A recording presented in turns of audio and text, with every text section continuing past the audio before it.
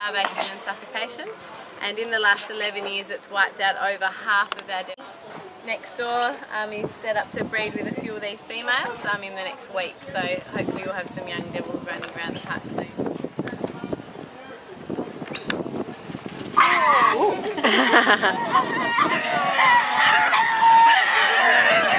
well, they attack you.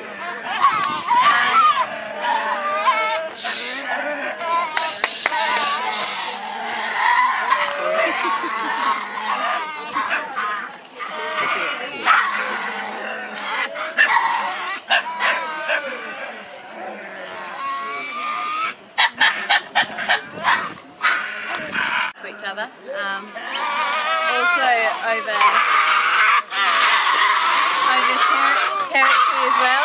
Um, so it might be that I moved closer to their den that they got a little bit upset.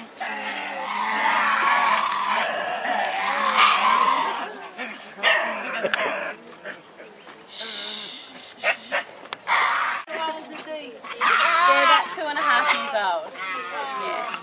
They um, only live for six years, so they've got a really short lifespan.